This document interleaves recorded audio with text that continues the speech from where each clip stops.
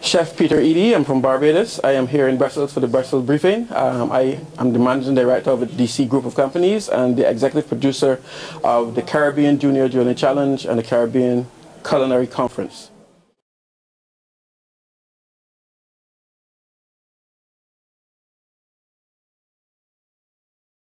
Well, in promoting the Caribbean cuisine is, uh, is, actually what the program I do in Barbados is doing right now.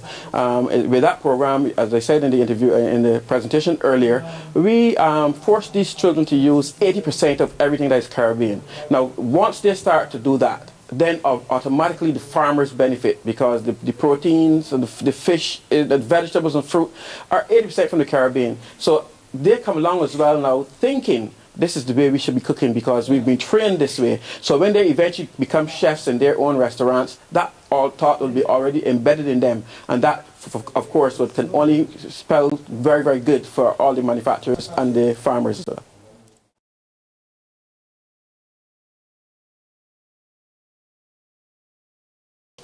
But again, what we're doing now is, is just exactly that. Every year, we train 80 students from the secondary school uh, between the ages of 13 and 18 in culinary arts. So this is training their get just to be involved in the program. And out of that, we pick 12 of them that will be in competing. So they get the full training. The 12 go on to the, um, the competition, and two end up ultimately representing Barbados in the Caribbean competition.